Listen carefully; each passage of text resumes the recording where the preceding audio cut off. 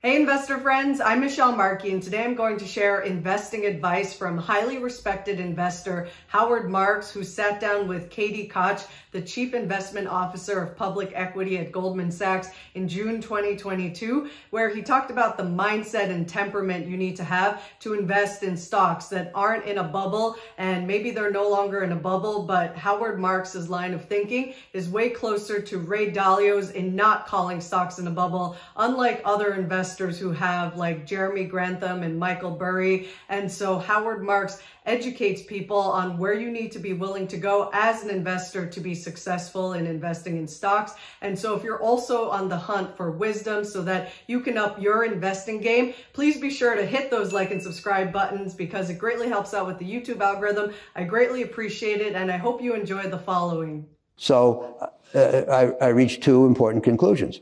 It's not what you buy, it's what you pay. Mm-hmm. And success in investing doesn't come from buying good things, but from buying things well. Mm-hmm. And if you don't know the difference, you're in the wrong business. Literally.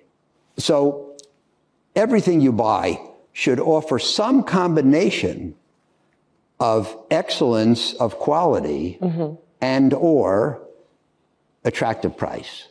You don't want to buy a great company at a terrible price.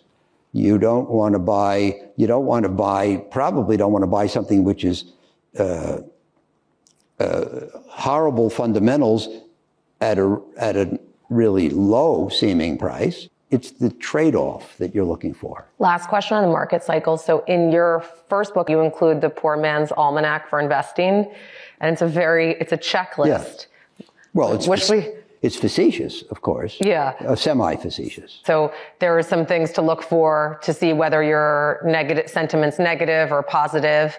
And basically, if the sentiment's too positive, you want to hold on to your wallet. It's right. like a quick summary of it. Yeah, yeah. So do GPs have all the power? Do LPs have all the power? Are the lenders in negotiating in negotiating in, in, in negotiating terms of funds? And then uh, another one was lenders are eager or they're reticent, capital's abundant, capital's scarce. Right. Somewhere in the verbiage you put in there that if you're popular at a cocktail party, that's a warning signal that things yeah. are too euphoric. Yeah. Um, but if you go through that, I'm not going to ask you to make predictions, but you, you think about that framework. We've just laid it out here. Where are we in this cycle?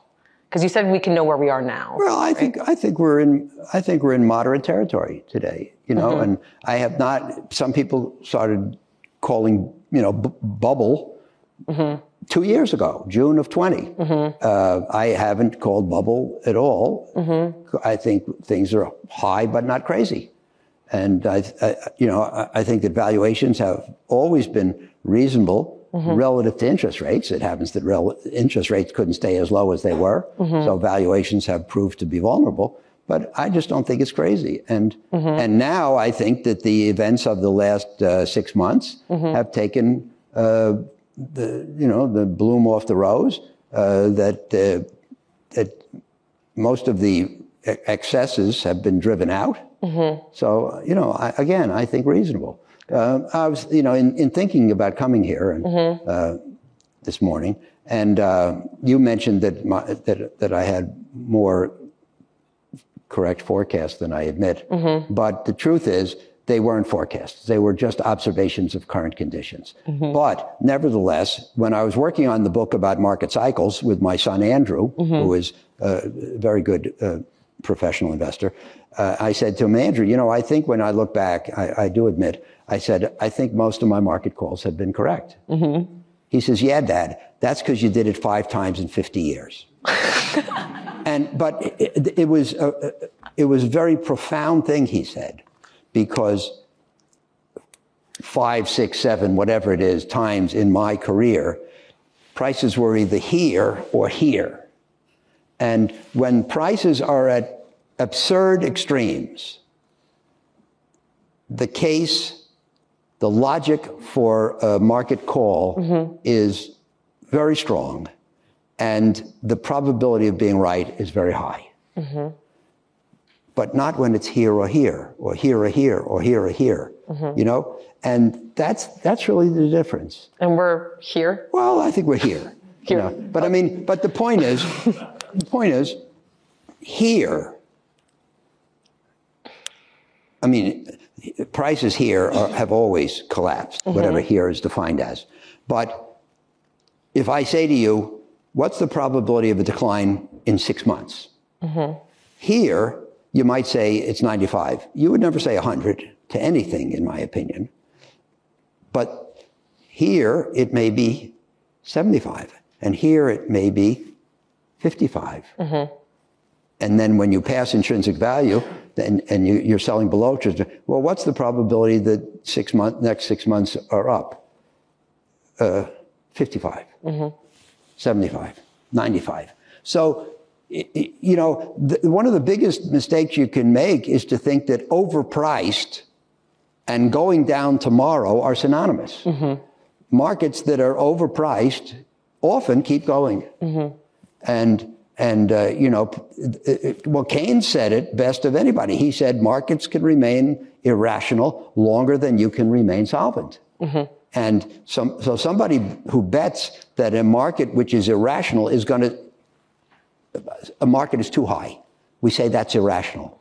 Somebody who bets heavily that that means it's going down tomorrow could lose his shirt or her shirt because because markets often are overpriced and become more overpriced and more overpriced and more overpriced and more overpriced. That's why we have words like rising market, bull market, bubble. And if it were true that every overpriced market reverts and becomes fairly priced, then we would never get a bubble because they would stop going up here. But sometimes they go to here and sometimes they go to here. When they get here, the call is pretty safe, uh, especially if you add the word eventually. So, so what, so what that means is, is, as long as you realize that nothing is sure to happen in this business, every, every, every irrationality can be exceeded. That means that you should try to bulletproof your affairs so that it may be likely to happen, but you want to be able to last long enough so that you're around when it happens. I want to talk a little bit about um, emotion for a hmm. second. Mm. Um, and you've said that you you need to either be unemotional yeah. or act like you yeah. are.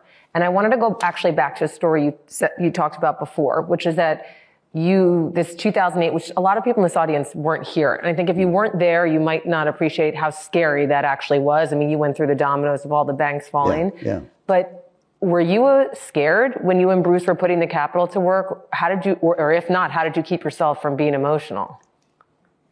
Well, first let me say, if you think about the norm, what happens? Things are going well, the economy is performing well, companies are reporting good earnings, stock prices are rising, everybody's optimistic. And the longer this goes on, people become more and more and more positive, yeah. and, and until they, they buy here. And when they run out of money, then things turn around. Then eventually the economy weakens, then the corporate profits aren't so good and start, start prices start going down and people start losing hope. Mm-hmm. And they, as, as, this continues, they get more and more depressed and more panicky and they stop, start fearing further losses mm-hmm. until they sell out down here. In other words, they, they, they tend to buy more here and sell more here, which is what the opposite of what we all should do. Mm-hmm. My mother said, Howie, buy low, sell high. And and and uh, so emotion is our enemy. Emotion tends to get us to do the wrong thing at the wrong time, and we have to resist that. Mm-hmm. And one thing I point out is that the the influences that affect the crowd and make it do what I just described, those influences are universal. Mm-hmm. And I feel them too and you feel them too, and everyone in here. We read the same newspapers. The news is the same for all of us. In order to outperform, by definition, you have to depart from the crowd. You have to hold a different position, and you have to have resolve to do it. And it's it, you know, it's just it can't be easy. And you know, uh, I had a one of my colleagues came to me in '98 talking about ancient history, long-term capital mm-hmm. had just melted down. And we had the ruble uh, default and the and the Southeast Asian crisis, and there was a lot of things going wrong. And one of the guys who considers himself to be uh, very thoughtful. This is that Oaktree, though, right? Yes, so, yeah. Oaktree comes to me and he says, "This is it. I think it's all over. I think the financial system's going to melt down. I think he, he explains to me all these things." And I said, "Great, thank you for sharing that with me. Now go back to your desk and do your job." I, I, said, a, "A battlefield hero is not somebody who's unafraid." It's somebody who's afraid, but he does it anyway. I mean, if you're in scary circumstances, to be unafraid, you kind of have to be a nut. Mm-hmm. But the key is, can you be afraid and do your job anyway? I was just going to ask you if you thought it helped that you had each other. Well, I think I, I think it's very important that we have each other and we buck each other up. Yeah. And and you need that because you know, what I wanted to say yeah.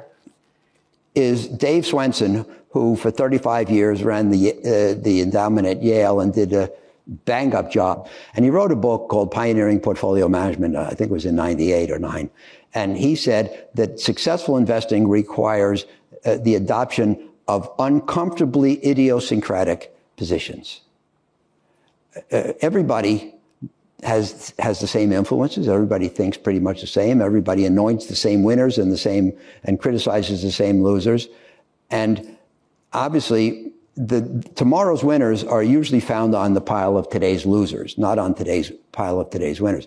But to prospect in today's pile of losers, the, the things that everybody else are junk, you have to be idiosyncratic.